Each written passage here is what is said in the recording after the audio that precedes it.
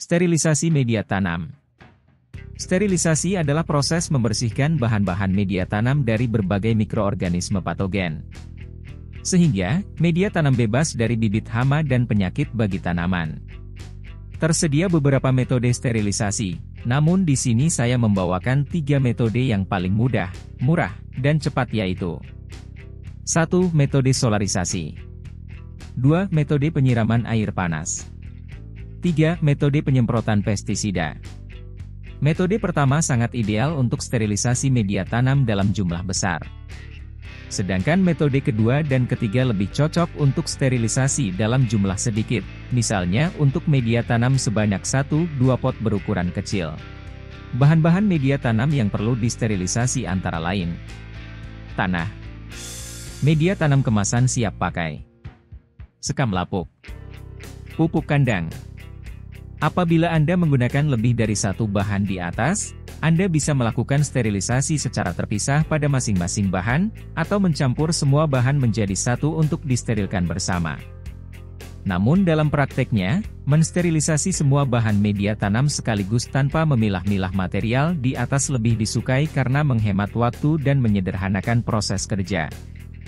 Maksudnya begini, misalnya Anda menggunakan komposisi tanah kompos, sekam lapuk, 1-1-1. Maka sterilisasi dilakukan setelah ketiga bahan tersebut dicampur dan diaduk rata. Sehingga, meskipun kompos tidak termasuk dalam daftar bahan yang perlu disterilkan, namun tetap ikut disterilkan. Cara tersebut jauh lebih efisien daripada Anda mencampur tanah dan sekam lapuk terlebih dulu untuk disterilkan, kemudian setelah sterilisasi selesai baru dicampur kembali dengan kompos. Sterilisasi merupakan upaya preventif atau pencegahan dari serangan hama dan penyakit tanah sejak dini, sebelum pohon anggur ditanam ke pot. Catatan Upaya ini sah-sah saja untuk Anda lewatkan atau tidak dilaksanakan sama sekali. Langkah ini direkomendasikan apabila Anda ingin pohon anggur lebih aman dari masalah hama dan penyakit tanah. Berikut ini cara sterilisasi media tanam menggunakan tiga metode berbeda. 1. Metode solarisasi Solarisasi adalah metode sterilisasi media tanam yang memiliki prinsip yaitu menaikkan suhu media tanam hingga melebihi 60 derajat Celcius dengan bantuan energi panas sinar matahari. Pada suhu tersebut, sebagian besar mikroorganisme tanah akan mati, baik mikroorganisme bermanfaat maupun patogen. Kecuali, ada beberapa jenis mikroorganisme bermanfaat yang mampu bertahan di suhu tinggi. Secara umum, hampir semua mikroorganisme patogen tidak mampu bertahan pada suhu tinggi. Alat dan bahan 1. Plastik cor transparan bisa Anda beli di toko bahan bangunan dengan harga sekitar Rp7.500 per meter. 2. Belilah minimal 2 meter atau sesuai kebutuhan. Kemudian plastik perlu dibelah supaya lebarnya menjadi 2 meter. 3. Air secukupnya. 4. Gembor, alat siram tanaman, atau gayung. Cara sterilisasi 1. Campurkan semua bahan media tanam hingga bercampur rata. Di sini Anda melakukan sterilisasi semua bahan sekaligus untuk efisiensi waktu. 2. Sebarkan media tanam dengan ketebalan maksimal 5 cm. Tidak boleh lebih, karena jika lebih dari 5 cm, suhu media tanam pada lapisan bawah sulit mencapai 60 derajat Celcius sehingga sterilisasi menjadi tidak sempurna. 3. Siram media tanam dengan air sebasah-basahnya. Tujuannya untuk membantu menghantarkan energi panas matahari ke seluruh lapisan media tanam, karena air memiliki sifat konduktor, penghantar panas. 4. Tutupi seluruh permukaan media tanam dengan plastik transparan yang telah disiapkan sebelumnya. 5. Letakkan batu, bata, kayu atau semisalnya di seluruh pinggir plastik sebagai pemberat supaya posisi plastik tidak bergeser oleh angin dan bagian dalam plastik menjadi kedap udara. Semakin kedap makin bagus, karena akan menjebak suhu panas di dalam plastik. 6. Proses penjemuran media tanam berlangsung selama minimal 1 jam apabila cuaca sangat terik. Namun jika cuaca kurang panas, mendung atau hujan, maka durasinya harus diperpanjang bahkan mungkin sampai berhari-hari hingga bertemu cuaca yang sangat terik. 7. Sterilisasi selesai. 2. Metode penyiraman air panas.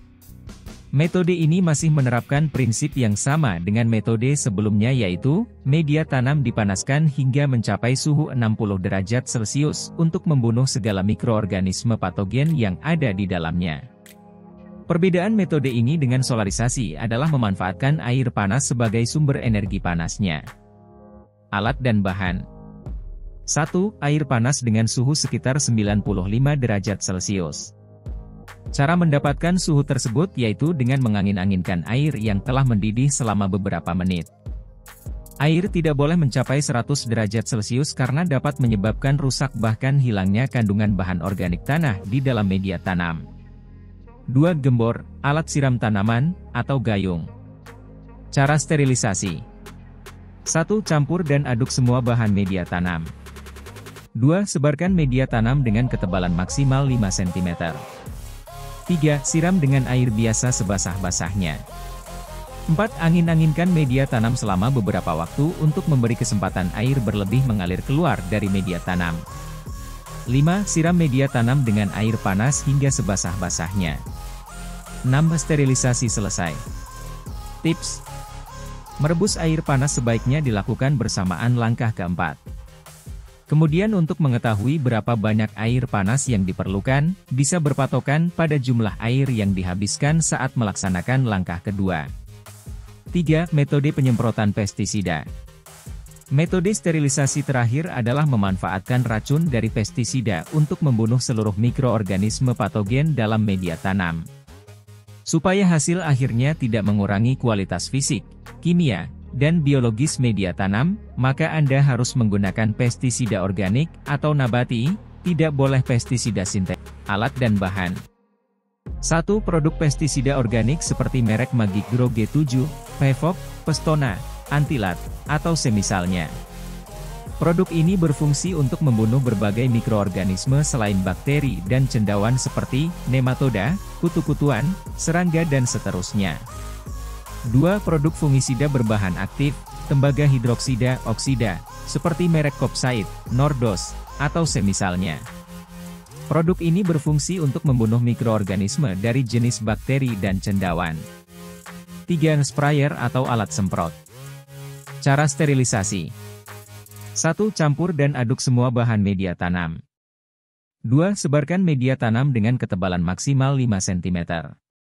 3. Semprot media tanam dengan pestisida organik sebasah-basahnya menggunakan dosis tinggi, yaitu 2-5 kali dari dosis normal yang tercantum di kemasan produk.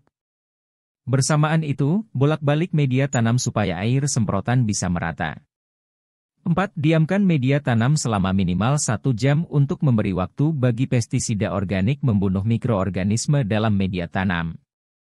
Untuk hasil yang optimal, diamkan selama lebih dari 3 jam. 5. Setelah selesai, lanjutkan menyemprot fungisida dengan dosis paling rendah yang tercantum pada kemasan produk. Bolak-balik media tanam selama penyemprotan seperti sebelumnya. 6. Sterilisasi selesai.